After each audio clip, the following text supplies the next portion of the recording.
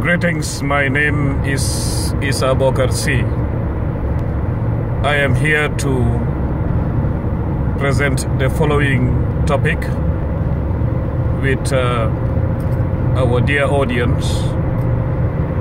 To be more precise, citizens of the Republic of the Gambia, home and abroad, particularly those on the ground.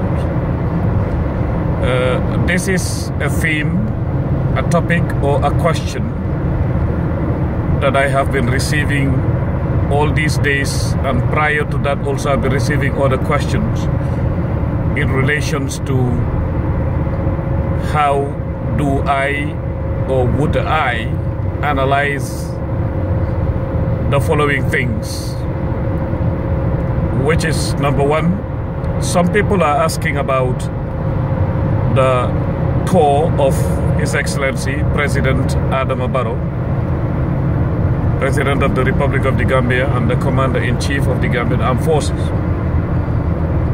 And uh, other aspects related to, I mean, developments within the country. I'm going to give an answer to that effect or going to present analysis to that effect.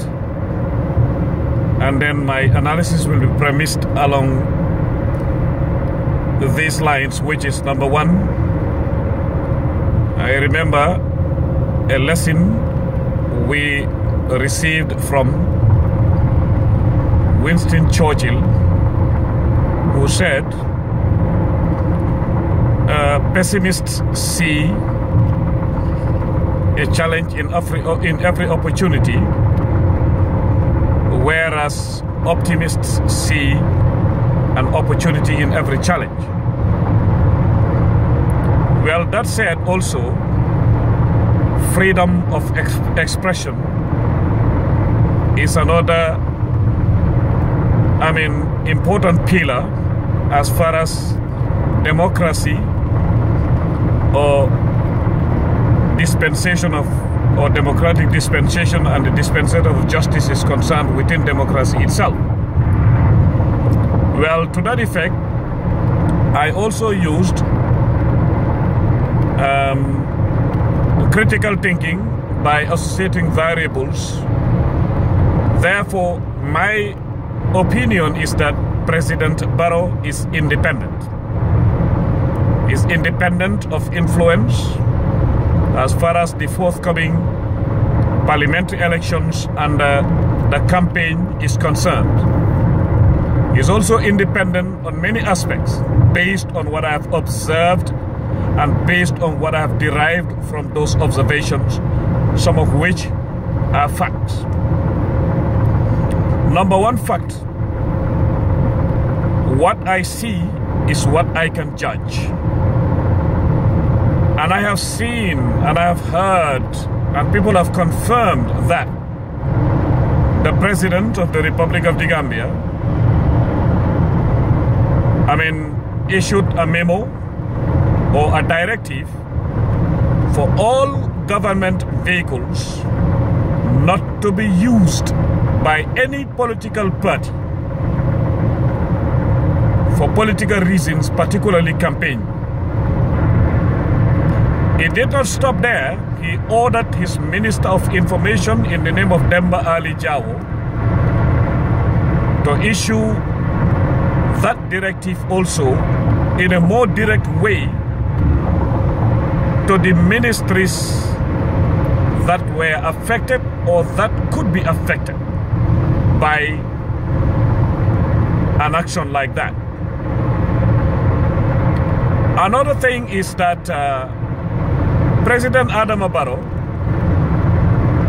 as we speak, I believe nobody would now have two minds that he is connected to the internet and uh, he is a Gambian. He speaks almost every dialect in the Gambia. He is seeing the pictures in the streets and he is listening to the campaign. One example is I've seen a poster with the PPP party where I think the tactical mind and the strategic ability of the head of the party has shown us how much of an experienced politician he is. Why did I say so? On those posters, you do see President Adam Barrow on the right and Omar Amadou Jallow on the left. At the, at the bottom, you see PPP coalition, which tactically, strategically, and of course legally, bearing in mind the regulations governing IEC, nothing has gone wrong there. And we have not heard anywhere the President of the Republic of the Gambia, Adam Barrow, say I don't want my picture, I don't want my image to be associated with that post. He did not say that. So, for me, in terms of imagery and whatever you need his portfolio for as far as promoting your pol political candidate is concerned, he is like food for the nation. Anybody can eat as far as you're hungry. So that also, why am I saying it? Usually my positions are not gauged by what is popular or what is expected of me or what a political party likes to hear or doesn't like to hear. I go by the truth. Even if I were to be wrong, I am still sincere within me that what I said is what my heart was saying. Now, if one takes all those things into consideration, how can anybody make me believe, or any institution make me believe, that President Adam Barrow is not independent? He is independent. He is impartial. Where am I drawing that conclusion from? From the variables that have been associated and from his own actions. The fact that he ordered for all government vehicles not to be used by any political party during the campaign. The fact that a political party can use his name and image as it is agreed upon that he is a president of everybody. The fact that President Adam Barrow himself is not stopping his Minister of Information to reiterate that point and underpin the need for those vehicles to be withdrawn, especially the most recent message he sent out from his Ministry of Information again, where he is extending his gratitude and appreciation to Gambians in the diaspora, and then scaled it down to the media fraternity or the media industry or the media houses, shows that he is independent. I, Essa Bokarr Sy, would never ever hesitate to stand up against injustice and uh, to stand up against biases where it is proven. But as far as Essa Bokarr Sy is concerned, President Adam Barrow is independent of any influence, particularly during this period where people are campaigning prior to the forthcoming parliamentary elections.